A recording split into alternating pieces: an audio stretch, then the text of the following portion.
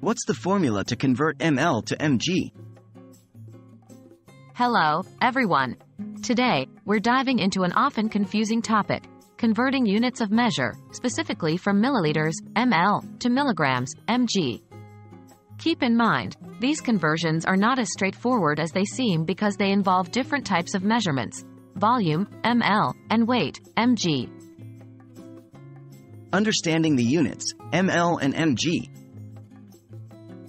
First, let's understand what these units represent.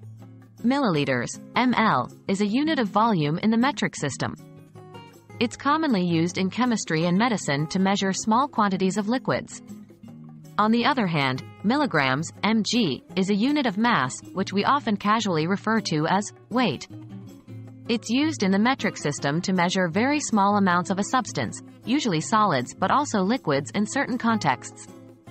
Understanding these units and the types of measurements they represent is crucial because it reveals why we can't directly convert ml to mg without some additional information.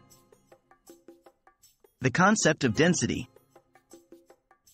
To convert from a volume measure to a mass measure, we need to introduce another concept, density. Density is a measure of mass per unit volume. It's often measured in gram per milliliter or kilogram per cubic meter.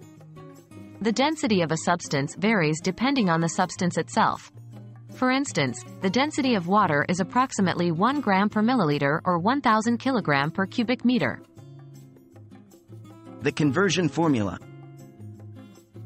Now, let's get to the actual conversion. Given the density of the substance, the formula to convert milliliters to milligrams is mass, mg, equals volume, ml, density, milligram per milliliter. So, you see, the exact conversion from ml to mg depends on the density of the specific substance you're dealing with. Without that piece of information, a direct conversion is impossible.